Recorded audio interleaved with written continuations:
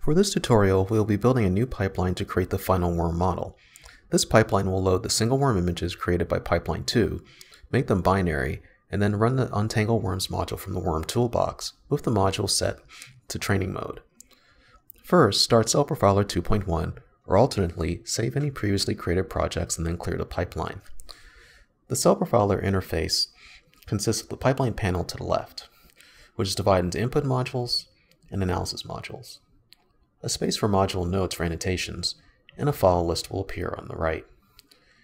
To provide CellProfiler of the image files to be analyzed, drag and drop the input image files, the single worm images that were the output from pipeline 2, into the file list space. The input module metadata enables extraction of metadata from the file names and folders.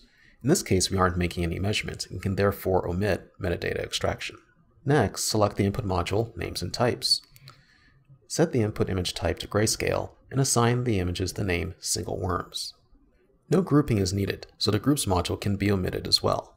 Now add the apply threshold module and threshold the input images single worms at 0.5 in order to make them binary. Call your output binary selected worms.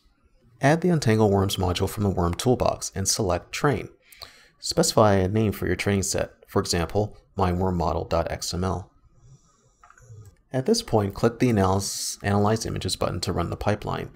Your model will be created and saved as mywormmodel.xml.